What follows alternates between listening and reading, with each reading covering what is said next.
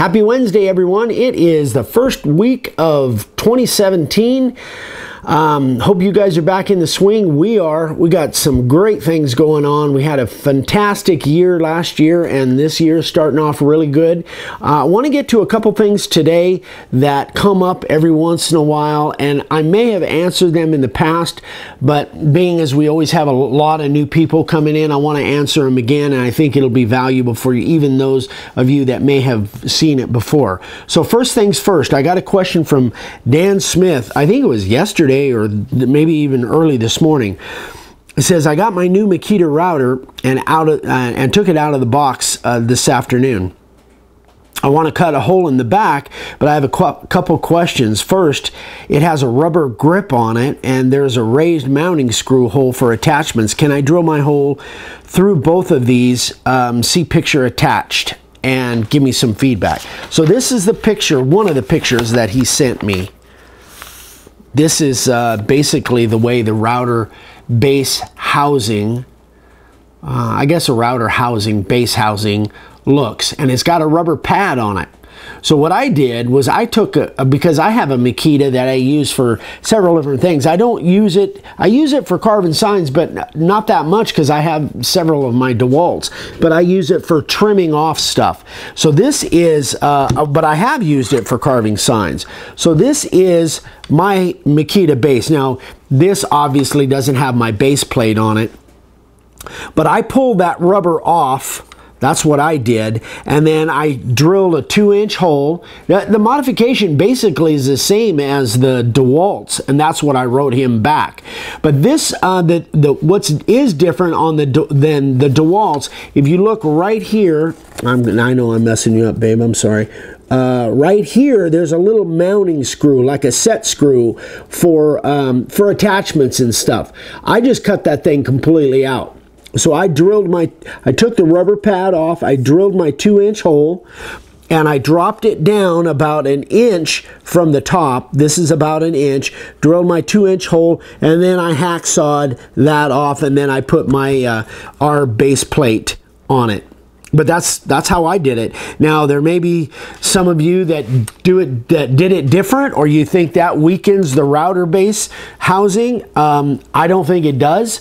I, I guess if you were going to drop it off of a building, maybe it might weaken it a little bit. But um, Anyway, that's the way I modified that in case you guys have any questions on modifying. And this is the, the little Makita RT0701C, the little palm router that Makita makes. Okay, so hope that helps. Next question. This one is going to be a little bit longer. Um, Leroy Severson, my buddy up north in the Pacific Northwest, says, um, what do you think about doing a coffee and questions on what you charge for people that bring you a piece of wood and want you to carve it? I've got a piece 13 by 30 by inch and a half inch cedar that a guy wants me to make a sign out of. So, um, I've got several, I, actually I have a lot of thoughts on this because this has happened to me so many times over the years. first things first, if you're going to carve the customer's piece of wood, always, always, always, again, my opinion, you know, if you want to do it different, that's up to you. But for me, I would always have to get that piece of wood in my hand. Now, by if the guy is local, then that's easy to do. If he happens to be long distance, then what I the first process is I said send me as many pictures of it as you can. Let me get a look at it. And I can tell you whether it makes sense for you to ship it to me.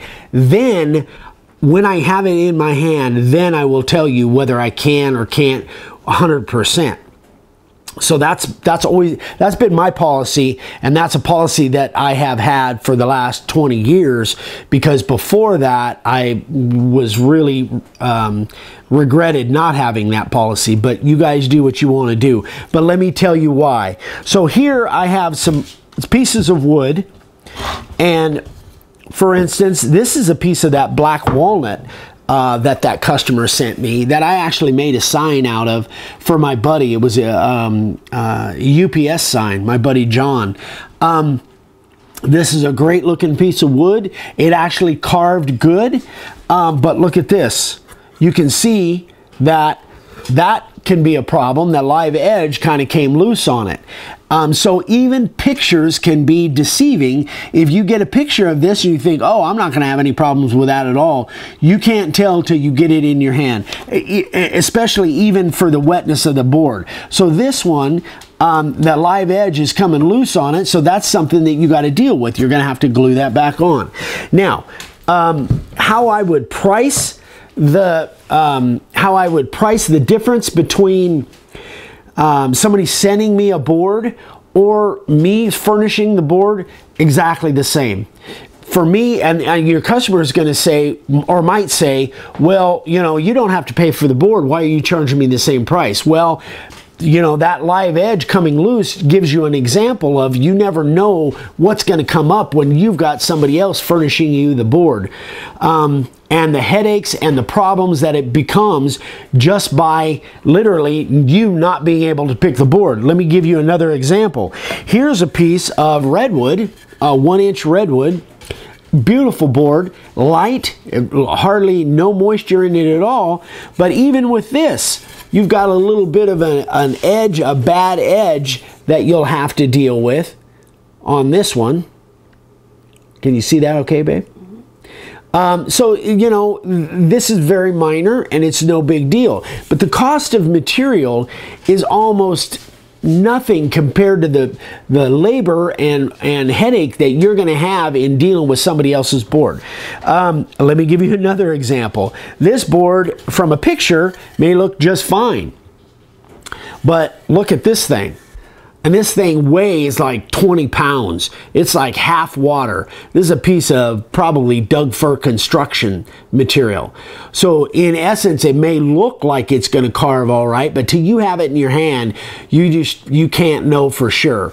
Um, so uh, again, however you're going to price your sign, if you furnish the material, um, that's the same price that I would give them if they furnish the material because it really isn't about the cost of the material. It's more about what you're going to have to go through to make a nice sign out of this. So uh, in this particular instance, a 13 by 30, um, I was just going to figure out what I would charge, and, this will be another um, example for you. So 13 by 30 on Leroy's board here uh, is I multiplied those two and I came up with 390, so that would be 390 square inches divided by 144, which is a square foot, is 2.7 square feet. Let me go, let me do that one more time. 13 times 30 that's the size of the board equals 390 divided by 144, which is a square foot, means that board is 2.70 square feet.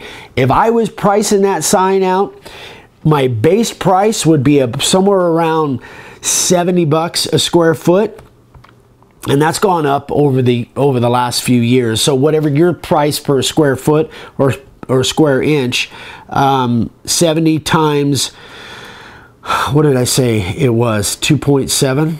2.7 is $189. So that would be $189 whether I furnish the material or they furnish the material.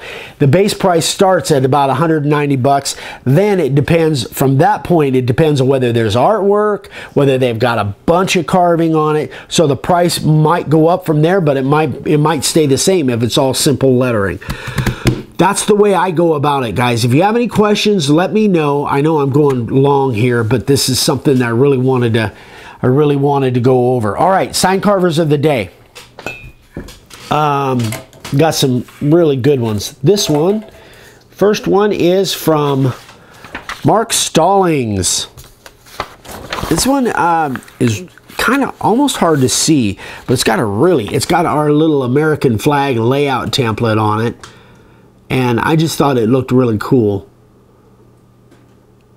It's got a beautiful color to the board. I don't know if he put a stain on it or not. He really didn't give me any any specific. Um, looks like it's cedar, but it might be pine with a cedar stain on it. So that's uh, that's sign carver of the day number one, and uh, number two, Cody Schroeder.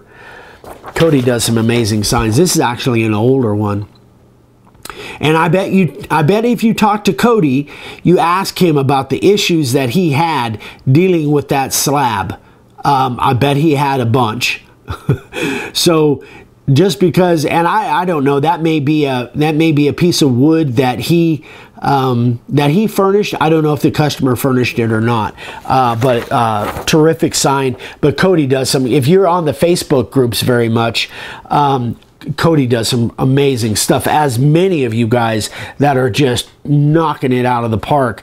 You guys posting stuff on uh, the Facebook groups. By the way, if you want me to, if you want to be part of the sign carver of the day and you want me to show it, don't necessarily think that I'll pick it up by the Facebook groups just because I'm part of those groups. You need to email those pictures to me, and then I'll put you, you know, put them in uh, submission for the sign carvers of the day.